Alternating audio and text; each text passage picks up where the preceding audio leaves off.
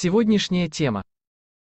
В Москве прошла премьера новогоднего ледового шоу Татьяны Навки «Лебединое озеро». Гостями мероприятия стали Дина Немцова, Катерина Шпица, Алла Михеева, Наталья Подольская, Аня Лорак, Валерия Иосиф Пригожин, Юлия Барановская, Жасмин и многие другие. Поддержать Навку пришла ее семья, в том числе муж фигуристки, пресс-секретарь президента РФ Дмитрий Песков. 19-летняя Немцова примерила для мероприятия кожаный комплект, состоящий из брюк прямого кроя, который она заправила в грубые ботинки, и удлиненного жакета. Наряд контрастировал с кремового цвета блузой из полупрозрачной ткани.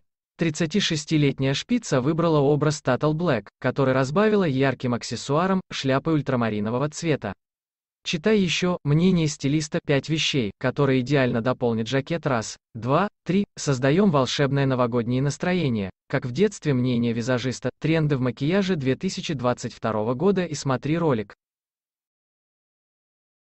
Ставь лайк и подписывайся на наш канал.